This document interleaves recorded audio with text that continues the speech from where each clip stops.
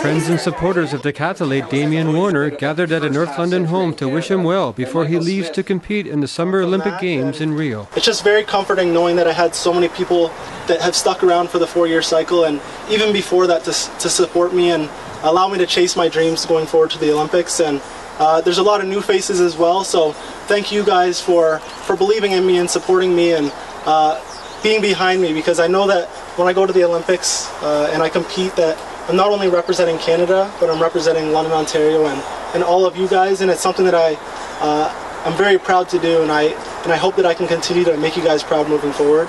Warner was joined by fellow London Olympians Lanni Marchant and Alysha Newman, part of a bumper crop of London athletes who will compete in Rio. I have been joking that there must be something in the water, that we have all these great athletes from London going, not just in athletics, but like we said, in women's soccer and in women's basketball. Um, so yeah, and to be part of this, this team in athletics, that's one of the strongest teams we've put forward in years, if not ever, uh, is amazing. It just shows what we've, we've all put our head down and we've been able to accomplish. Well, I think it's really cool too because a lot of us are new newcomers. Like we're our first Olympics, so there's a pretty much half of us are new, and so we're all going to be experiencing it together. But at the same time, four years ago, we talked about going to these games, and all these people qualified. So it gives me goosebumps sitting here and knowing that I'm going to be on the same team. That we all talked and we all have one big dream, and we're all going to do it together at the Olympics in Rio.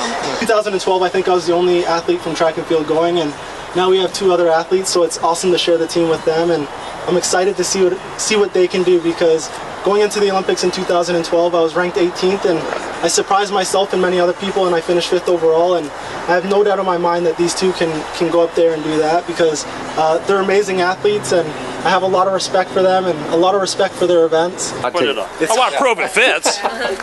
It's hot though. The Summer Olympics begins on August the 5th. Thank you, David. I feel like I just want a green jacket.